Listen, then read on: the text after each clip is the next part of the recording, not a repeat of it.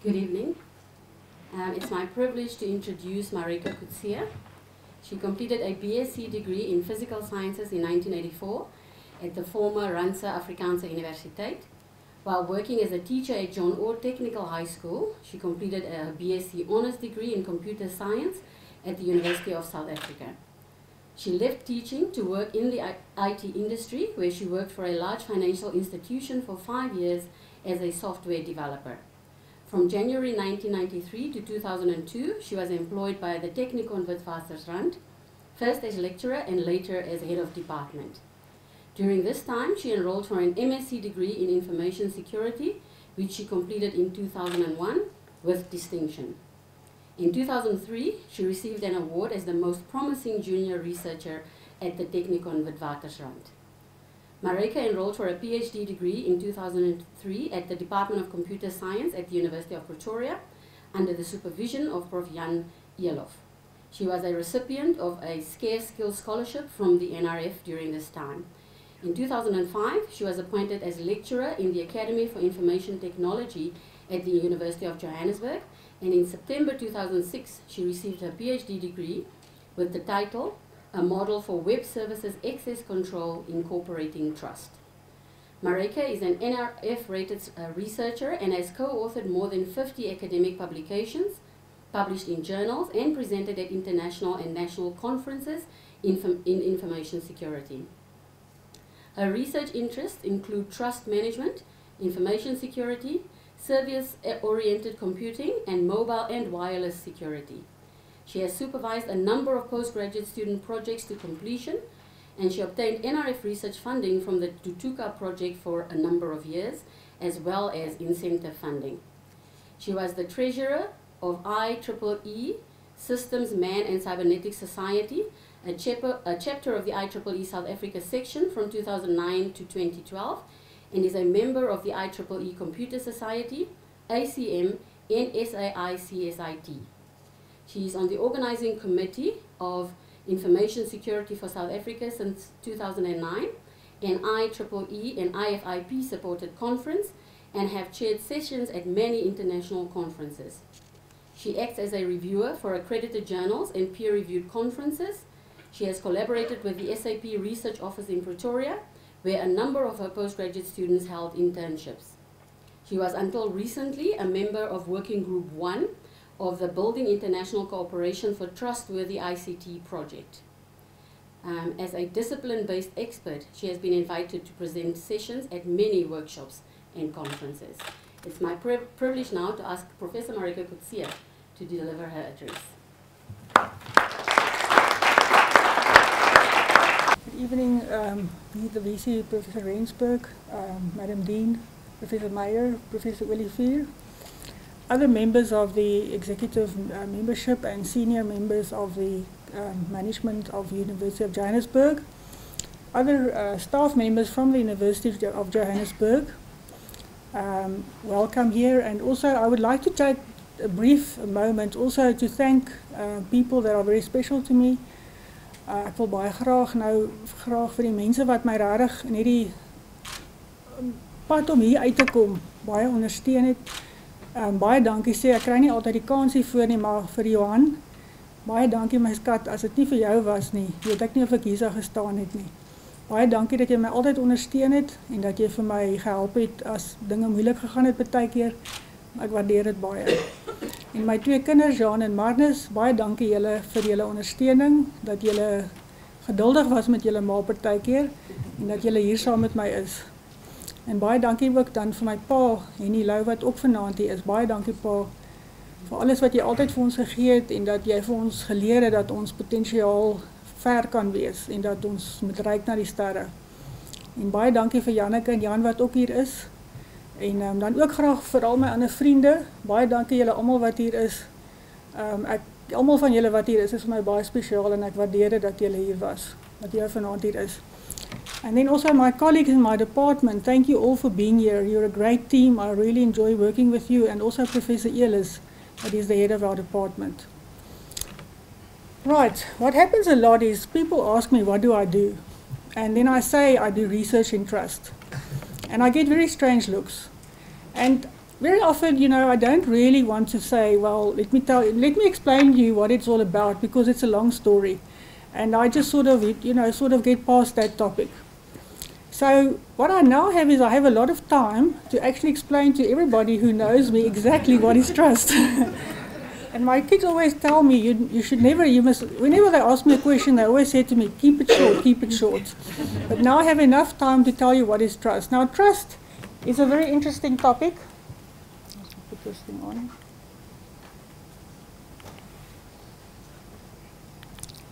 trust is a very human concept uh, I think we as humans have a, if you start studying trust, then you start to become more aware of yourself and how your trust engine that you have in your brain works. We, also, we all have a trust engine. And, um, you know, if you think about how amazing our brains are, we have the ability to, every single moment of the day, we process information, and information is stored, all in the subconscious mind. And in your brain, associations are made and connections are created, and you're not aware of that. And one day, perhaps you walk into an office and you see somebody just giving you a look, and you register that. And then you continue throughout the day, and, and then you may notice another thing. Something, there's just something that you feel you are picking up on cues. Your trust engine is now kicking in, and your trust engine is now pulling out all that information that you've been keeping in your brain. And then one, something may happen, something that you didn't expect. And all of a sudden, you decide, I don't trust you anymore. Something that could have happened that would have led to that reaction. So that is how human trust works. And that is something that we um, in computer science, you know, study. And this is what makes it such an interesting topic is that for my research, I had to study sociology, psychology, cognitive sciences. You also find a lot of trust work going on in economical sciences and biology and so forth, where we are studying how people and how entities interact and how they collaborate and how they basically, through trust, they protect themselves. So trust is something that has existed forever. If you, you can go and look at the Chinese proverbs, you can go and look at uh, what the Arabians have said, the Persians, and also people that come from the environment that we're quite aware of. If you, for example, look at what uh, Shakespeare said. Sorry. Shakespeare, I mean, he was actually very right. He said, love all and trust the few. And I think that's quite important, you know. Uh, and if you read a lot of these uh, proverbs that people have about trust, you'll find that they are very often about not trusting. So what that tells us about human nature is that in general, as people, we probably are disappointing each other a lot. But yeah, trust is something that is very commonly known by the general population. If I now turn to computer science, in computer science, trust has got a very specific definition. Um, you know, computer science is something, it's a science that has been, hasn't been there for uh, so many years. Um, and we look at the definitions that have been coming from the community. And there's quite a substantial number of definitions, like 60, 70 definitions on trust have been written over the past many years. But if I look at, for example, these two definitions that we see here, first of all, we have somebody called, uh, two people called McKnight and Chervany, who said that what they know about trust is that it, it is, is about a willingness I'm willing to depend on something, even though I very often know that there is danger. And that is something we always introduce into the concept of trust, is the concept of risk. There's always some risk that you're going to be taking if you are going to be following your action. So you may also know that there is a, a relative feeling of security. So I know that if I stand here I can trust this environment. I can trust this floor that I'm standing on. I trust the microphone is working now. I know that these things are here and I know that they are trusted. I have a, I have a relative feeling of, of security because it's all very common to me. So that is something that whenever we want to implement trust, we need to say, is there a feeling of relative security? And also here they say that it is all about competence. Competence in what we know competence that this machine, my laptop, is working. It is a well-known make and I know that it works. So these definitions have come, and what we also know about these definitions is these definitions are actually coming from a very specific group of people that have been doing work in trust over the past 50, 60 years or even more. They have come out with a very, they're looking at trust with a very specific worldview. They look at trust from their perspective of how they see their belief systems and their values, and that is how they've defined the trust. And it's very often defined in terms of competence and in terms of integrity and in terms of that sort of, you know, things that, that measure performance, that is how we measure trust. In computer science, we also say that this is essentially what we do when we do trust. We say that, that agents make trust-based decisions. Now, in computer science, we start and we say, let us see how we can implement software that can do things for us, and we call these things agents. They have the ability to act by themselves. And they make trust-based decisions based on computational trust algorithms and models that have been created from trust theories. And the focus is to make communities grow, social communities. So what we need to do in trust is we need to study trust theories, and that is what we have to do in detail to see how people think, how people act. That is what we want to try to mimic so that when our agents make decisions sometimes on our behalf, they make decisions with which we will be comfortable. Right, now first of all, let's see, I want to give you an idea of how we as people think about trust. So I thought this was a very nice story. I'm not too sure, everybody probably knows about the Trojan horse and the city of Troy. And this is an, why I'm using this example, it's a very nice example that shows us how we all make trust decisions. And then I want to take this to today when we are sitting in front of our computers and I want to show you the similarities of how we make trust decisions. Now, the city of Troy was under attack from the Greeks for about 10 years. And these Greeks were very upset that they could not actually get the city to fall. And they talked to many people, and they then came up with a very complex attack. So, the, the attack that they were going to make on the city was complex in nature. Um, the Greeks obviously didn't. Uh, the Trojan uh, citizens of Troy did not. They have. They had no. Uh, weren't aware of it. They were behind their walls. They had a very strong perimeter. But basically, what they did is they realized, and that is something that is really important in this attack, is that for the Trojans, the citizens of Troy, they knew that they had a reverence for horses. Horses were like gods to them. So they knew that if they, it's like a soft spot. They knew their soft spot was the, the idea that they had about horses. And so what they did is they then decided they were going to build a big wooden horse. This wooden horse was like a boat, and it would have carried about 30 to 40 people inside this boat. So then they, they, they created this elaborate attack where they put the best sol soldiers that they had into this horse. And what they then did is they left the horse outside of the city of Troy where their camp was. They had a large military camp there for many years. They burnt down the camp, they left the horse, and they, they left. And so the, the people of Troy thought that, well, the war is over. So they just left there. And what they did here is they actually ensured that there was a sense of normality. That is a very important concept, that when you want to trust, there must be, you have to feel very normal. You must feel that you are quite safe. These the citizens of Troy then actually had to go out of their uh, city. They had to go towards the horse that was standing on the outside, and there they could then inspect the horse, and they could then decide. They had enough time, and they could then decide what exactly do they want to do with this horse. But you know, this attack was very clever because it was playing on their um, soft spot, if I call it that. They really liked this horse a lot. They really thought that this was going to be a very good contribution in their uh, city. But what they actually had to do to get the horse inside of Troy is they had to break down the wall to get that horse inside.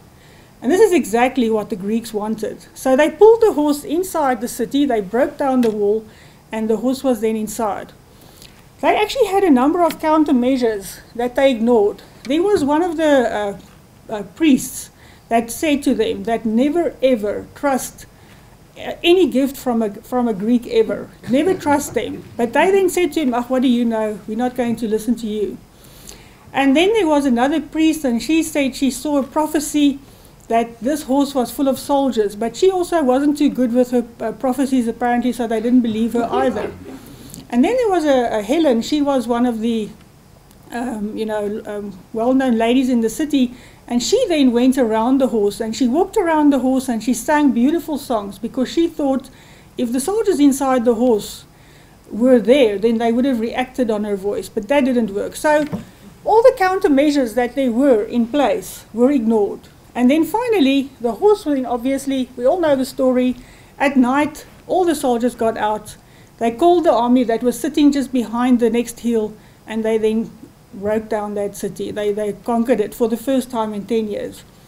Now, what I would like to show you in this story is how trust works. Now, in those days, they had a lot of time to actually go through this process. So they had the time to process what they wanted to do, and they had all these countermeasures in place, but still, you know, um, they, they still were attacked. Bring this now to today, where you are sitting in front of your computer, and this happens to us every day. And this is how you should think about trust. You sit with your credit card, and now there I have Alice. Now, in our world, we always talk about Alice and Bob as our examples. There is Alice sitting at home. She has a really nice machine. She's sitting with her credit card and she's now thinking about should I actually go and do a transaction on the internet? Alice is confronted with a lot of information all the time that she has to process. But what Alice does not know is there is a guy called Bogachev. He is a Russian criminal and he's very good. He's currently uh, has got an FBI, he's currently um, at large 3 million American dollars the FBI put on his head, and he's somewhere in the Red Sea in Russia. And in Russia, he's sort of seen as a good guy. They like him there.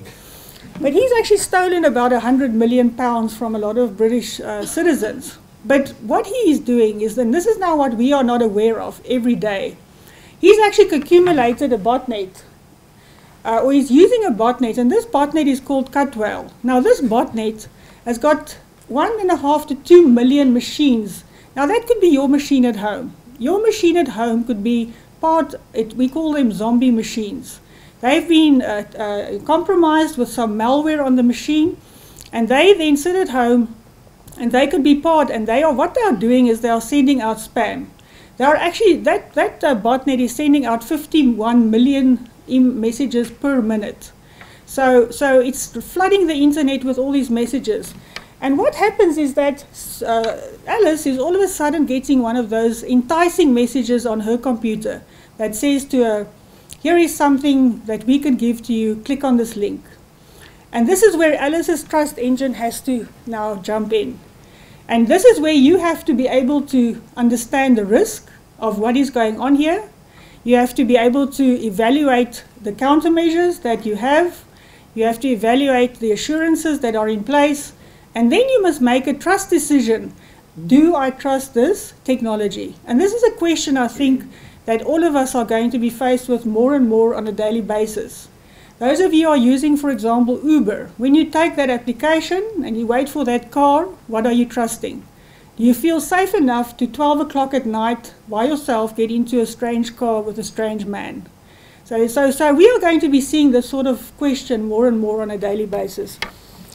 So basically what we now see is that the speed by which these attacks are happening is getting faster and faster. So we as, as general, and this is what my aim is of this talk, after this talk I would be happy if all of you have a much better understanding of what trust is and what you should be looking for when you are trusting technology and when you are using technology. When you're in cyberspace, what do we look for in terms of trust? In terms of trust, we, what we normally would see is that we should have Alice, and Alice is now working on some platform. Now, it's also important to understand who Alice is. Alice is somebody who may understand technology. She reads a lot about technology. She knows what it is, and she, she's got a good feeling. So her sense of normality when she's using technology is quite established. But what we know we need to know now is how does she trust when she goes on eBay and she wants to buy a product? How does she ensures and trusts that what she's going to be asking is she will be getting. She has to understand those mechanisms, so we all, all of us here should. The foundation of trust is identity. I have to know, do I know who am I talking to? And we all know that we commonly use uh, uh, the SSL encryption protocol where we identify that we are currently working with the right server. And we all know that we should be looking for the HTTPS logo. So when Alice logs into her uh, banking site or eBay and she sees that, at least she knows she's now working with the right environment. Then we take it a bit further and we say, I can now, as Alice is on the eBay website, she can now inspect the website and she can look for assurances. She can look for checks and, and uh, labels that will show her that this organization has actually been checked and verified by organizations. And then there are things like credit card third parties in place that will ensure that she won't lose her money. Uh, there's laws and policies that she can read. And finally, she can look at the website and she can see there are guarantees that are available. And this is basically the foundation of trust that we can build today as people. If you sit in front of your machine and those things are in place, you can say, yes, I can sort of get a feeling, I have a sense of understanding that this website that I'm working with is a trusted website. If this is not in place, essentially we will not have uh, an e-commerce environment. And as we know today, e-commerce is actually driving a lot of the economy of many uh, places in the world. When we look at trust, we now have to ask ourselves, I've now given you a picture of just what trust is. You know, how do we actually build a bit of trust when we're on the internet? And I've said that trust is something, it's a decision, and it all depends on the risk that you are taking. But research has actually gone and it's actually uh, inspected trust in terms of what is, it, what is it made up of. And what we see about trust is it's made up of different layers. Trust is made up, first of all, of uh, uh, your basic uh, evidence that you are collecting, and then it's made up of some emotion that comes into the play. And basically, what we see is that we have a few constructs here that, uh, for example, those uh, I'm going to discuss them on the next slide a little bit more. And then the last one is trusting beliefs, which is more an emotional thing. And these ones combined together is actually going to let you commit a trusting behavior. But now let's see how this works on the internet. How does this work? How do these constructs work together when somebody is on the internet? And now what I want to actually show you through this example here, um, we want to talk about actually who this person is that is on the internet, that is interacting with eBay, and we want to talk about the actual mechanisms that have been put in place and who's actually put them in place and for what reason. So what we see is that First of all, we have a situational decision to trust. Now, this is you as a, as a, a person that knows a place like eBay. You go to eBay and you have decided that you are going to buy a product. That is your situation. You already know. This is something that you trust. This is your trusting stance as a human being. You are comfortable with this, and this is what you are going to be doing. Then we have to look at what is your disposition as a person. Now, each and every one of us sitting here may have a different type of disposition. Some of us here don't take risks, and some of us here take too many risks. And that will be something that will be determined by your human nature and the experiences that you've had in your life and uh, situations that you've been in before. So, your disposition to trust will be affected by many things. But generally, if we now take the general person for which eBay has been designed, that person is somebody that does take risks, that doesn't mind trusting strangers very often, and then that also is somebody that when you show him eBay and he reads the rules, he sees all the guarantees, he sees all the things that I've put in place, that person feels comfortable. So after starting off and, and looking at all of this, let's say you now have a, a, trust in your mind of about 2 out of 10. So I'm saying I've got a 2 out of 10, I'm ready to go, I'm now going to start transacting. And Alice is then going to start transacting with eBay. She's now going to start interacting. And what she will know that have been put there, it means that she has to understand them. She has to know about them. She sees all the laws and the policies and the guarantees, and she's now going to buy a product. And what will happen is now the product will be delivered, she will get it, and she will do it again and again. And she will realize, and this is very important to Alice, that the performance of the system is very good. And her trust perception of eBay has now grown to perhaps 8 out of 10. She believes that eBay is doing what it's supposed to be doing. And um, and time, her benevolence, and that is your emotion. Now the emotion kicks in. And as you start to feel more comfortable and you enjoy what you are doing, you feel now, right, uh, I'm, I'm really happy with eBay. I have a sort of a emotional connection to this place because I've been there many times and my benevolence grows a lot. And that's only something that grows in time. And now by this time, Alice is now sitting at a, perhaps a 9 out of 10. She's really happy with what she's been getting on eBay. It could also be otherwise. It could be that the product did not come, it wasn't delivered, and then she's really upset about that. And it will probably drop to 2 or 3 out of 10. Now, finally, now this is very important. Alice now has to decide what she thinks about this whole situation. And her opinion is actually now going to feed into the trust of the other people who are going to be using that system. Now, Alice is also a certain type of person. She's very analytical. She comes from a certain uh, uh, worldview where people don't mind to criticize. So, if she wants to criticize, she's going to do it. She's going to give eBay, if she it's a, either good or bad, a 2 out of 10 or an 8 out of 10. She's going to write her feedback. She's going to be very open and frank about it. She's going to say what she feels. And this information is now going to be placed on the eBay website where uh, others are going to be reading it and they are going to be using it to actually determine then or, or to, to create their own trust perception of what they think about the eBay system. So this is how trust essentially would work in an e-commerce environment and my focus is, is, is uh, tonight very um, uh, set on the e- e-commerce type of environment. And that is how we build trust in systems. But now, the other question I would just briefly like to address is how do we build trust in strangers? Because Alice is now also on the eBay site and she's meeting different people that she's never met before.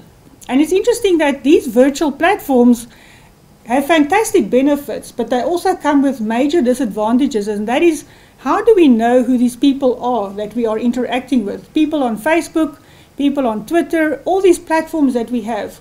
Because people can create themselves with any profile that they wish. You never know who they are. So we have to put things in place, mechanisms in place, so that we can understand how we should trust strangers. And what we basically now do is we talk, we use indirect uh, trust.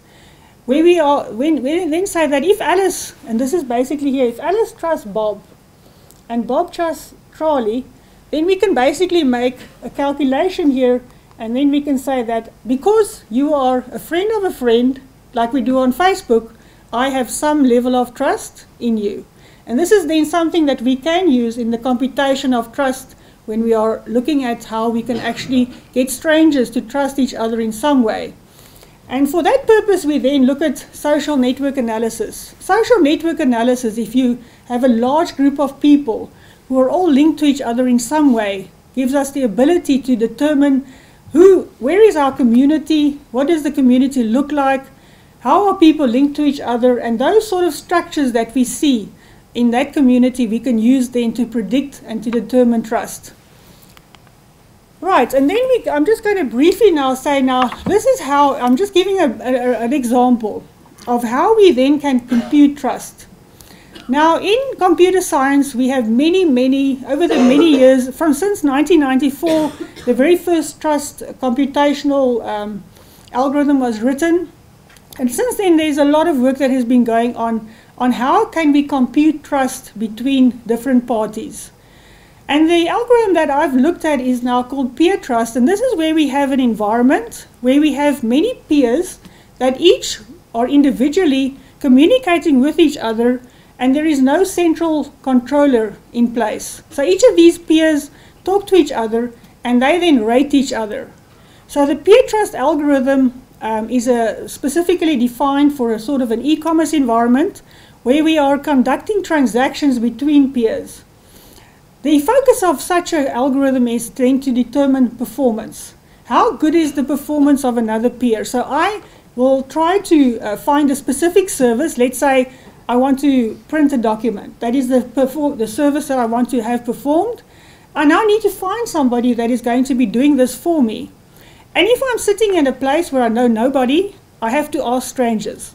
So, what peer trust does for us, it helps us to determine who to ask. So, initially, when everybody is new to this environment, there's going to be no level of trust. But now what we say is because we all have a certain worldview, we will say we're going to give each of us a certain level of trust. We're going to bootstrap some trust so that there can be some interaction that can be taking place. And then we will be starting to talk to those that are closest to us. That is commonly what we as people will do. And then when we will communicate, then we will, after we have an interaction, you print the document, the document has been printed well, I will then give you a rating. So I'm going to rate you. And I'm going to continue, and then each of these nodes are going to be building up a level of trust. But in this environment, there is always malicious nodes. Malicious nodes who are going to try to bring down or to, to not deliver the service it's supposed to. My algorithm has to have the ability to manage these malicious nodes so that the nodes do not collude, they don't work together, and so that the, the focus of this algorithm would be to ensure that the community grows. What we want is we want the community to grow so that we don't want small groups of people always sticking together. We want newcomers that come into the community to actually enjoy the benefits of the community and also become part of it. So the algorithm also has to take that into account. The algorithm will also uh, actually, um, when, when, when somebody gives feedback into the community, in other words, they're a good participant in the community, they are giving feedback about others, um, we will give those nodes more points than we would normally do for others. So the whole idea of this algorithm is to see what sort of interactions are happening and so forth. But what we need to note is that this algorithm is based on performance and that every node is only looking out for the best personal gain.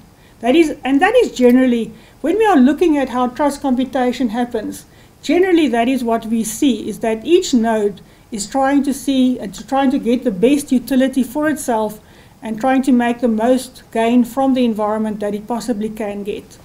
So this is then what this algorithm is. And I would now just briefly, I just want to quickly show you a little simulation that a student of mine did. We did the work together on just so you can see how this community grows.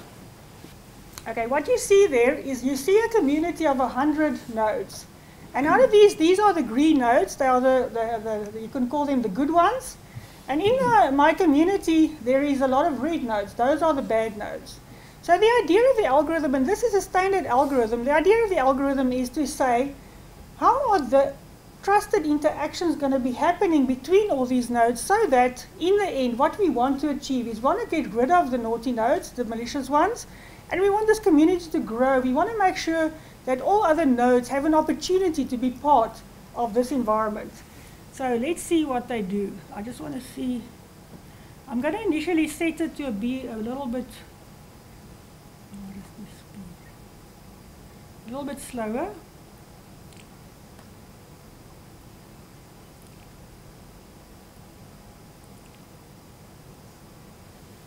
Okay, so you can see this is how the community starts to operate and how each of the nodes will then, in an ad hoc way, communicate with the others.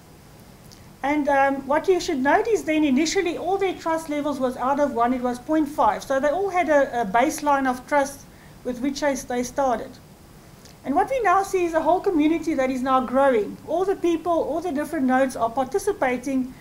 And this really gives good results in terms of it's a really good uh, algorithm that ensures that everybody gets an opportunity. And you can see the red nodes are sitting on the edges, they are sitting on the outside, and they are, um, you see, they are rejected. Generally, they should be rejected by the good nodes. And what we will also note is you can't really see it that well, but what you can see is um, that the nodes that are sort of more to the middle of that whole grouping, the community, they have higher trust levels, and the nodes that are very often sitting on the edges, they are lower trust levels.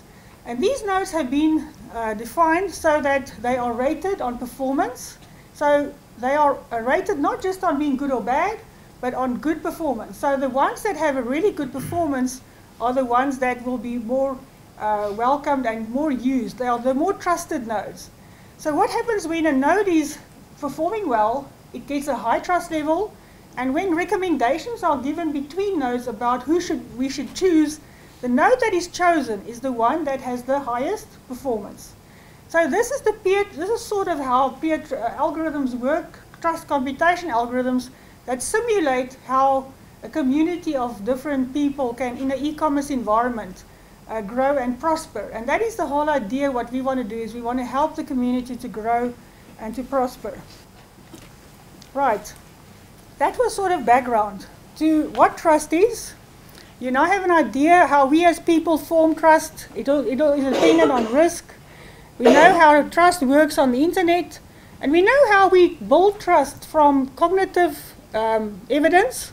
And also that later it becomes beliefs and emotions that play a role.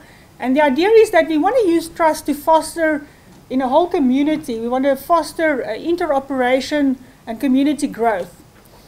So at some point in 2009 or so, I became involved with the SAP Research Office, uh, and their focus, their focus of research was how can we build and use technology to support uh, very small enterprises in South Africa, and especially mobile technology. And then what I also that, and I think this is extremely relevant uh, for what we also see today, is then I found in the Mail and Guardian, and I still actually went to find it, it, you know, it was many years ago, but I still found that newspaper clip, and I thought this was very interesting. And what this newspaper clip basically said is that we know that in the communities where we have spaza shops, there is a lot of uh, opposition against um, these, uh, op- these shops. Because generally it is found, I think, that they do quite well compared to the local shops. And what people then said is if you look at how in this case, it was Somali, Somali, Somalians. What they do differently is they network together. They uh, form networks of, uh, of different shops and then they buy in bulk. So they would go and buy uh, goods in bulk and then they would come back and they would then sell it at a cheaper price. And there is, was a network of them that work together and that support each other. And locally, the spaza shops don't do that. They actually don't support each other and there is a high level of distrust actually between those. And that sort of was some supporting uh, information that we got to the type of system that we then thought we perhaps could start uh, investigating. Something else that I found that I also thought was very interesting is that uh, I just found this recently, and this also illustrates the point really well. In Saudi Arabia, for example, you find that Facebook is extremely popular. But they have, if you look at, I want to show you here, um, Facebook, for example, uh, about 21% of the people in the country all on Facebook. So something about Facebook they enjoy. But if you look at their e-commerce adoption, you'll see, I mean, it's like 1 or 2%. There is no level of e-commerce adoption, whereas if you think about the retailing that is going on in those countries, you can see that they spend a lot of money on retail, but they have no uh, liking for e-commerce at all. And apparently, one of the main problems that they, they, they have there is trust. They don't trust uh, e-commerce systems. So this is a good example, and, and the question is why do Arabians trust Facebook, and what, what is it about Facebook that they enjoy? And if you think about who they are, they are people that enjoy uh, living in groups, and therefore, when they're on Facebook, they all can be in their groups and they can be looking at each other and they can sort of find something from that. So it's interesting to look at the adoption of technology, how people adopt it, and it's based on how do we trust it. Trust plays an extremely important role. And for us as, uh, uh as computer scientists, if we don't develop trust in our technology, it's never going to work. Just something totally uh, different that I could just uh, also relate is that um, when uh, the Korean Air Force started to fly their first planes, they found initially that two or three of the planes actually crashed. And they couldn't understand what was going on because they actually trained those pilot, pilots very well. And then they looked at the black boxes, and what they then actually found is that when the crew was in the cockpit, uh, in Korea, there is a very high, we call it power distance, between the captain and the people below him. And when the um, lieutenants that were in the plane saw things were going wrong, they did not have the um, openness then to tell the captain, Captain, we have a problem, we must do something. They just kept quiet. Because of that, we call it power distance. So what they actually do now, this is something you ask yourself. So what do we do now? There is no way we can actually rebuild that plane. We cannot change the technology. But what they then did is they actually retrained the pilots so that the pilots behaved in a different way. so that they had the, um, you know, they were taught then to when something is going wrong, immediately each, everyone tell each other, don't worry that the captain is the captain. And this is just another example of how when you design technology, it has to be designed so that it is usable by the people that are going to be using it. Right, so the idea then is how can we support very small enterprises such as um, spaza shops, for example, and the example that I have here is uh, very small enterprises where we, for example, find uh, plumbers and electricians. And these plumbers and electricians, they're all um, doing their own small thing. They have their own small businesses. But sometimes you want to help them to collaborate. For example, a plumber may come to some job and he may find that, okay, I don't have the capacity to complete this by myself. I actually need other people today. And he must then have the ability to then quickly get hold of somebody who's going to assist him in this process, and even then sometimes buy goods in bulk and share the costs so that they can run their businesses in a cheaper way. So the problem that we have in these sorts of environments is who do we choose? If you are a newcomer in this environment and all that we provide you with is a cell phone, so you have your mobile phone, on your mobile phone there is an application, and this application is all that you have. Everything that you will be doing will be from the phone. So you don't have a central third party who you can go to. There's nobody that's going to assist you. You are sort of on your own. And this is very similar to the situation I, I showed you with a peer trust algorithm, where every node is now on his own and he has to find his way and he wants to become part of a community where he will be supported by people that are sitting in that community. And also, who do I ask for recommendations? So if I want to find who to ask, you know, who are the people that I should ask? And uh, like I've mentioned, there is no central party involved. So we want to now build such a system for people that are going to be needing this, and we must make sure when we define the system that the system is actually usable and it actually follows the belief systems and the values of the people that are going to be using it. And that then brought me to a really interesting topic, the topic of culture. Because if we want to build an application for a certain group of people, we have to ensure that those people understand it and they want it. Uh, in the case of uh, e-commerce, for example, in Saudi Arabia, obviously the way in which the systems are being built may not suit the belief systems and the values of them. So we need to build something that will do this for us. Now, what we can know about culture is culture is interesting. It's not in your DNA. You are not born with it. It is something that you learn. It all depends on where, who's your family and what do they teach you? What we're looking at is when we are looking at culture, um, it's something that you are born with. Uh, it's not something you, it's something that you get taught. So, um, according to uh, somebody called Hofstede, there was uh, um, a number of ways in which we are looking at culture, and especially the one that I would like to look at is the one about collectivism and individualism. Now, that all has to do with groupings. And what's interesting if you look um, and how people see each other, when you're individualist, what we say is that I am because I am the uh, uh, individual hero, I dream and I do. So I go forth in the world, I want my freedom, and I, I, am a critical person, I have an opinion. Uh, whereas if I'm in a collectivist culture, I operate in a group. My group is extremely important to me. And one of the most important things to me is the concept of group harmony. And I would rather come second sometimes in certain situations than um, hinder the uh, group harmony that is in the group. The group harmony is extremely important to people. For example, in Japan, there is a saying if the uh, needle sticks out, hit it in. So you don't want to stand out. You don't want to uh, hinder um, the harmony and the trust that is inside a group by perhaps voicing your opinion, by being critical, and so forth. So, when we're looking at how somebody like this is um, on eBay, they work on eBay in a very different way. So, we need to accommodate that. Now, when these people uh, that come from different cultures are on eBay, we may find sometimes that something like risk is more difficult for them to, to actually take. They're more risk averse they have something that we call a high uncertainty uh, avoidance index. They don't like risk, they're scared of risk. And even if you give somebody perhaps a phone and a, a, cell phone technology and you say, here's an application for your business, they may not want to go that way. They don't want to actually uh, use the technology because it is something that is strange.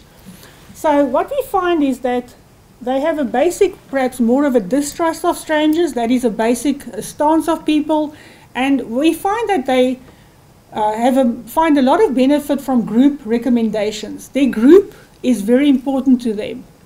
Um, when somebody gives them a phone that is a leader in a group, perhaps somebody that they trust, they would much rather use that application than if somebody gives it to them who is a stranger to them.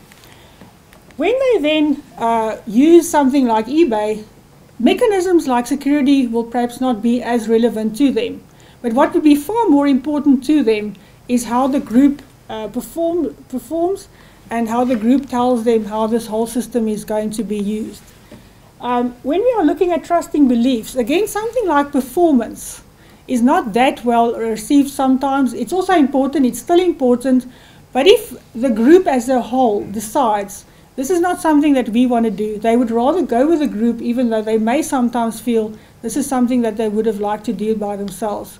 And finally, when it comes to actually um, giving criticism, we find often that people don't feel comfortable to be too critical. They would rather be more vague in their opinions, and they would be very nice. They would say, Yes, you know, but it wasn't too bad.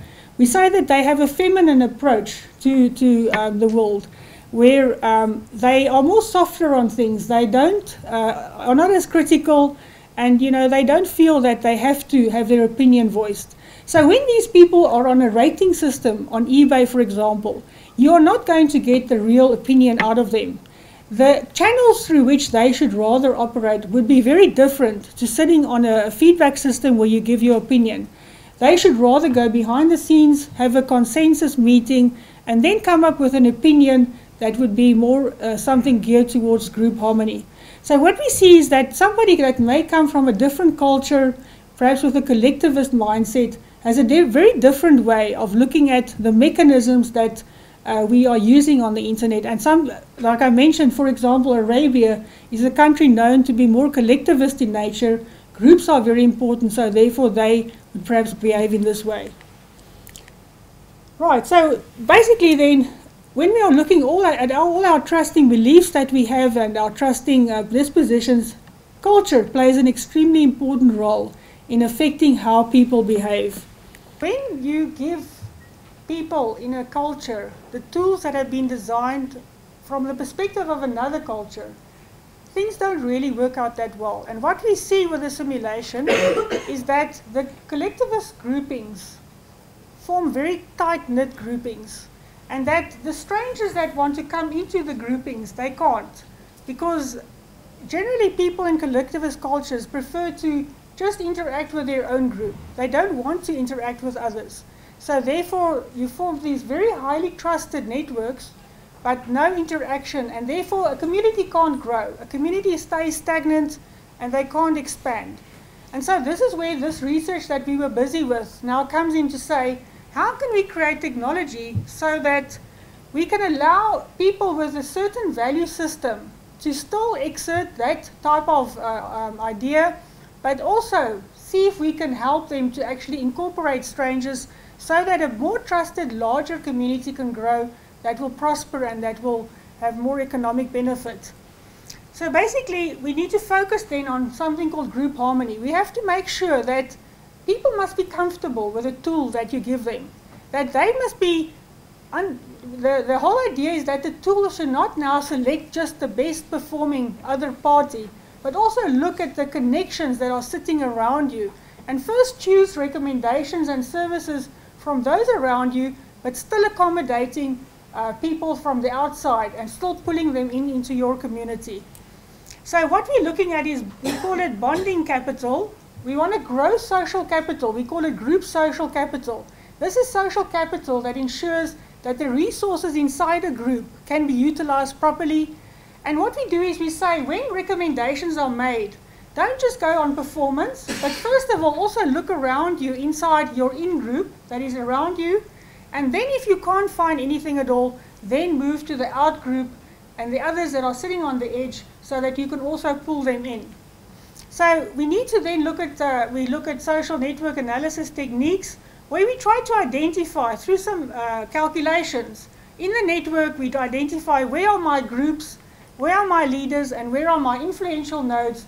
These are the nodes that generally that the uh, collectivist-minded type of person would rather follow and would be, feel more comfortable with using. We have then a whole process that I'll just quickly go through it that if I'm node A, this is just, I'll just show you how this works. And I have to now find a service. Again, I want to find a service that's going to print a document for me. Who do I ask? Now, in the individualist approach, we will now say, first of all, ask your direct friends. We all work like that. And from my list of direct friends, I'm going to choose the one that is the most performing. And this is exactly what anybody would be doing. Who, whether you are individualist or collectivist, this is what you'll be doing. So, so you'll be using that service. But if there is nobody like that, who do you now go to secondly? And this is now where we say, find the nodes that are part of my in-group. In other words, they must also be in my group. So I want to try and see if I can find services that are in my group. If I can't find them, then I'm going to find an influential node. These are nodes that are very well connected, that are going to be, uh, be a good flow of information in the whole structure of the network. So the process of now selecting nodes becomes slightly different when we are looking at a more collectivist approach. And by doing this, we'll see in the simulation, you'll then see that instead of forming a tightly clustered set of information, a group, a community, the community still has that approach. It still is clustering around the group, but there is an extension to the outside and also nodes from the outside are then incorporated. So the whole uh, simulation then shows good results where we see that uh, uh, uh, the number of successful transactions, for example, is quite high, and the number of malicious nodes generally that are being chosen are very low because of the actual high trusted nodes that are normally being used for recommendations. So in conclusion, then what I saw from the research that I was doing is that indeed trust is different for different people. And this is just the start of research on this topic. Uh, in the world generally, the approach is always taken that trust comes from a certain viewpoint and from a certain belief system. And people are only now starting to see how important it is to actually accommodate uh, the, the background of the individual who is looking at a specific system.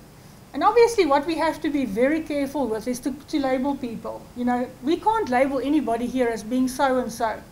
Everybody sitting here, if I look at collectivist, individualist, have some of each of them in us to certain extents. And so we have to make sure as computer scientists that when we personalize, we are basically personalizing software and tools. We do it in the right way.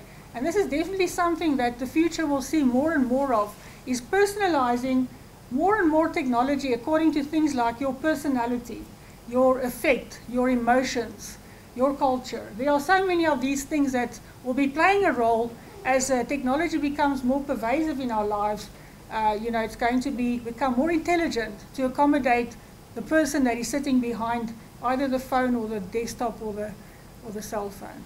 Thank you.